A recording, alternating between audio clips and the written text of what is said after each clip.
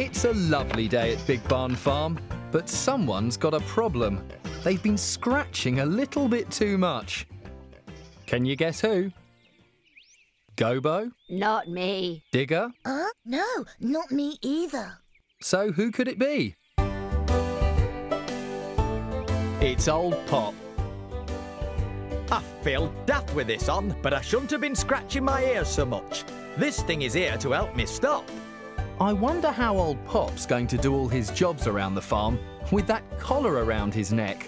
Hmm, I think I know someone who'd like to help.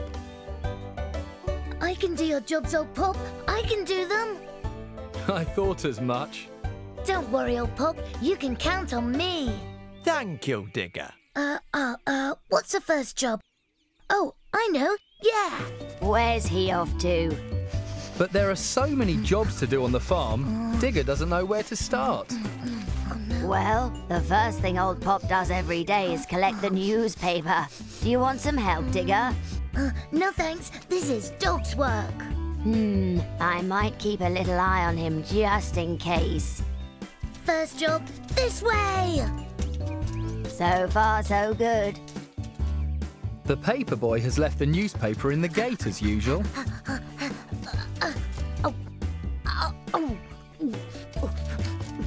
Digger's doing really well so far, but he hasn't reached the farmhouse yet.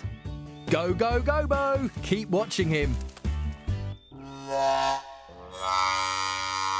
Uh-oh. What happened here? oops, I dropped it in a puddle. Digger, you ought to be more careful. No time to be careful. I've got a lot of important jobs to do. Mm, Now there's a puppy that should slow down a little.